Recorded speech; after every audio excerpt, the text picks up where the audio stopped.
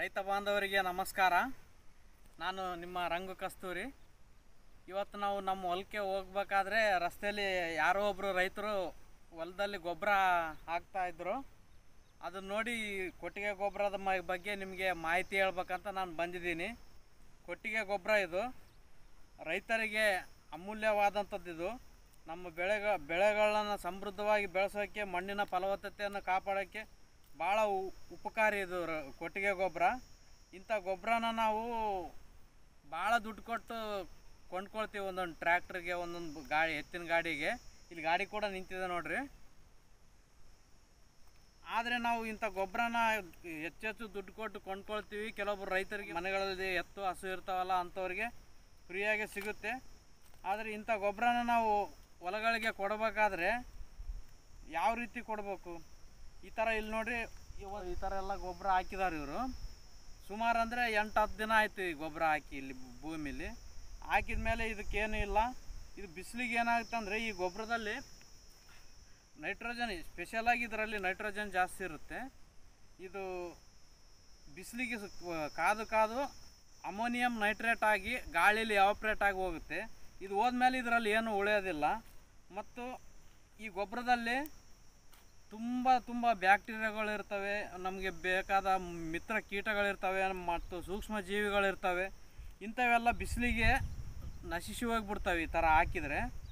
ಅದಕ್ಕೆ ಗೊಬ್ ದಯವಿಟ್ಟು ರೈತರೆಲ್ಲರಿಗೂ ತಿ ವಿನಂತಿಸ್ಕೊಳ್ಳೋದು ಏನಂದರೆ, ನಮ್ಮ ಹೊಲಗಳಿಗೆ ಗೊಬ್ಬರ ಹಾಕಬೇಕಾದ್ರೆ ಮೊದಲು ನಮ್ಮ ಹೊಲದಲ್ಲಿ ತೇವಾಂಶ ಇರಬೇಕು.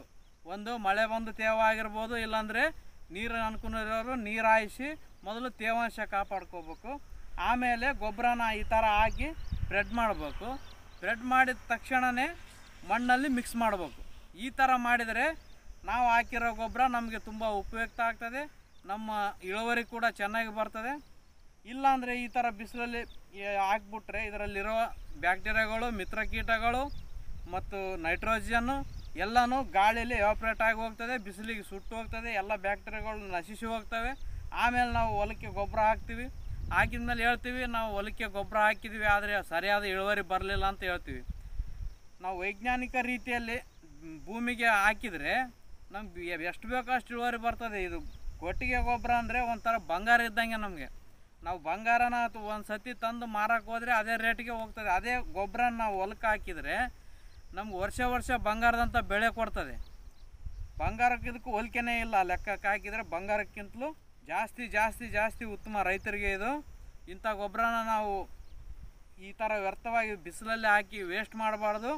ನಾವು ಯಾವಾಗಲೂ ಭೂಮಿಯಲ್ಲಿ ತೇವಾಂಶ ಕಾಪಾಡಿಕೊಂಡು ತೇವಾಂಶ ಇರುವಾಗಲೇ ಈ ಥರ ಗೊಬ್ಬರನ ಹಾಕಿ ತಕ್ಷಣ ನಾವು ಮಣ್ಣಲ್ಲಿ ಮಿಕ್ಸ್ ಮಾಡಿದ್ರೆ ಇದರಲ್ಲಿರುವಂಥ ಈ ಗೊಬ್ಬರದಲ್ಲಿರುವಂಥ ಸೂಕ್ಷ್ಮ ಜೀವಿಗಳು ಏನಿರ್ತಾವಲ್ಲ, ಇವೆಲ್ಲ ನಮ್ಮ ಭೂಮಿಯೊಳಗೆ ಹೋಗಿ ಅವು ಜೀವಂತ ಇರ್ತವೆ ಮತ್ತು ಅವುಗಳ ಕಾರ್ಯ ರಚನೆ ಆರಂಭ ಆಗ್ತದೆ ಮತ್ತು ನಾವು ಬೆಳೆದಂಥ ಬೆಳೆಗಳಿಗೆ ಸಮೃದ್ಧವಾಗಿ ಪೋಷಕಾಂಶಗಳನ್ನು ನೀಡೋಕ್ಕೆ ಆಗುತ್ತೆ. ಅದಕ್ಕಾಗಿ ರೈತರು ಯಾವುದೇ ಕಾರಣಕ್ಕೂ ಈ ಥರ ತಪ್ಪು ಮಾಡಬಾರ್ದು.